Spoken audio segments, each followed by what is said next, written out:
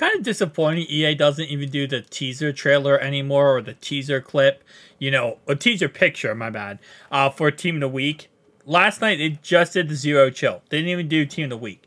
But anyway, though, we do have Team of the Week today, of course, and it starts with 94 overall, limited time, Austin Ekeler, 93 speed, 94 acceleration, 92 agility, 92 carrying, 90 catching, 90 change direction, 75 trucking, and 90 break tackle.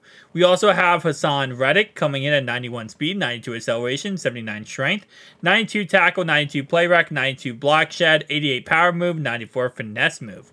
We have player of the week item, Deebo Samuel, who's also getting a 95 overall boost because, of course, of the berry boost. So he's getting the berry boost that gets him up to a 95 overall. Um, this does give him 93 speed, 95 jumping, 94 catching, 94 catching traffic, uh, 95 spec catch, 96 short route running, 91 medium route running, and 92 deep route running, which is actually really cool.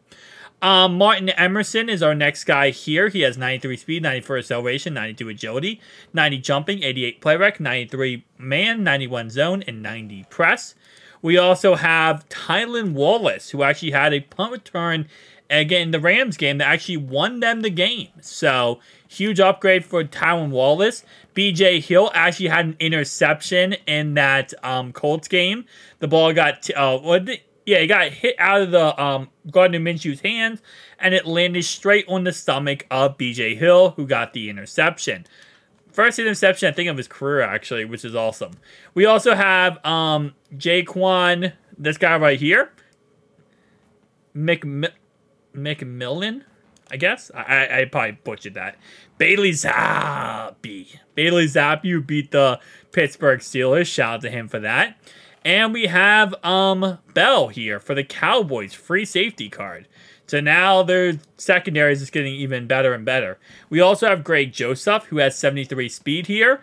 And yeah, so that's going to be your free safety Bell. He plays linebacker. Oh, this guy apparently plays linebacker according to this guy right here. I don't know if he does or not, because I don't really follow him, but I don't follow the Cowboys. But apparently he plays linebacker. Bell is an outside linebacker. Okay, so everyone's saying this now.